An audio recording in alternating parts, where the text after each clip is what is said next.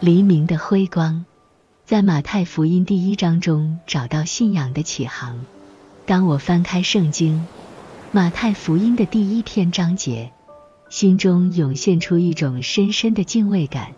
在平凡的家谱中，我仿佛能触摸到那些奠定信仰基石的手，他们一生的记载嵌入这圣洁文本中，就如同他们的名字润染进人类的救赎历史里。一个接一个的名字，有的熟悉，有的陌生，每个都承载着神的旨意和应许的递进。我读到亚伯拉罕到大卫这段历史长河，是信仰传承的壮阔杰作，让人不能忽视其中包含的上帝与人之间不变的契约。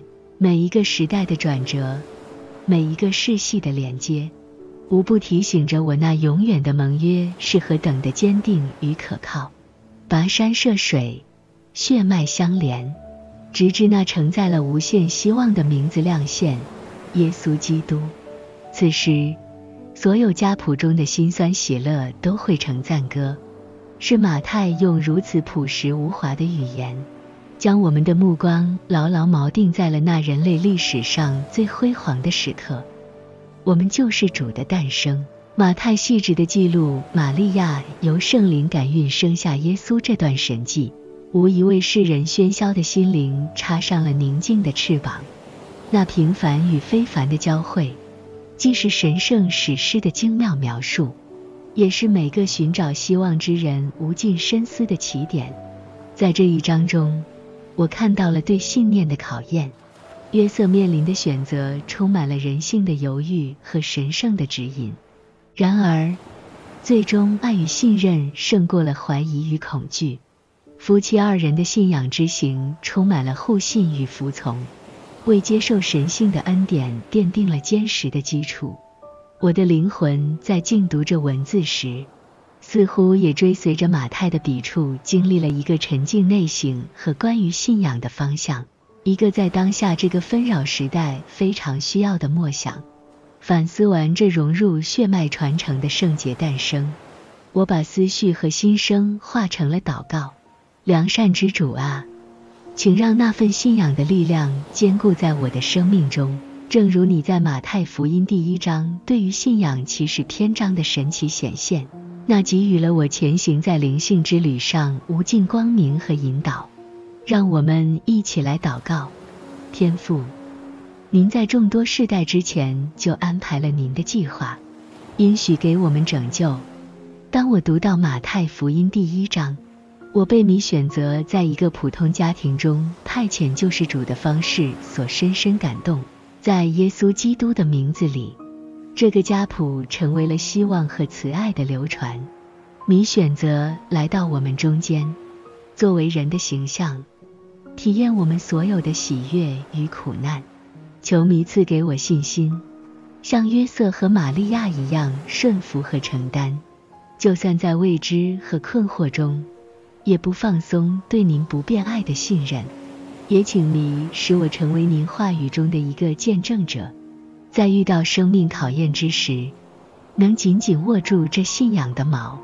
我请求您用圣灵来更新我的心。正如当初儿童耶稣第一次在地上呼吸时一样神圣且充满爱，请您引领我，让我的生命也可以成为你光辉和荣耀的见证。奉耶稣基督的名祷告，阿门。第一章经文：亚伯拉罕的后裔，大卫的子孙，耶稣基督的家谱。亚伯拉罕生以撒。以撒生雅各，雅各生犹大和他的弟兄。犹大从他马氏生法勒斯和谢拉，法勒斯生希斯伦，希斯伦生亚兰，亚兰生亚米拿达，亚米拿达生拿顺，拿顺生撒门，撒门从喇合氏生波阿斯，波阿斯从路德氏生俄贝德，俄贝德生耶西。耶西生大卫王，大卫从乌利亚的妻子生所罗门，所罗门生罗波安，罗波安生亚比亚，亚比亚生亚撒，亚撒生约沙法，约沙法生约兰，约兰生乌西亚，乌西亚生约坦，约坦生亚哈斯，亚哈斯生西西家，西西家生马拿西，马拿西生亚门，亚门生约西亚。百姓被迁到巴比伦的时候，约西亚生耶哥尼亚和他的弟兄。迁到巴比伦之后，耶哥尼亚生撒拉铁，撒拉铁生所罗巴伯，所罗巴伯生亚比玉。亚比玉生以利亚敬，以利亚敬生亚索，亚索生撒都，撒都生亚金，亚金生以律，以律生以利亚撒，以利亚撒生马旦，马旦生雅各，雅各生约瑟，就是玛利亚的丈夫。那称为基督的耶稣，是从玛利亚生的。这样，从亚伯拉罕到大卫，共有十四代。从大卫到迁至巴比伦的时候，也有十四代；从迁至巴比伦的时候到基督，又有十四代。耶稣基督降生的事记在下面。他母亲玛利亚已经许配了约瑟，还没有迎娶，玛利亚就从圣灵怀了孕。她丈夫约瑟是个异人，不愿意明明的羞辱她，想暗暗的把她休了。正思念这事的时候，有主的使者向他梦中显现，说：“大卫的子孙约瑟，不要怕，只管娶过你的妻子玛利亚来，因她所怀的孕是从圣灵来的，她将要生一个儿子，你要给他起名叫耶稣，因他要将自己的百姓从罪恶里救出来。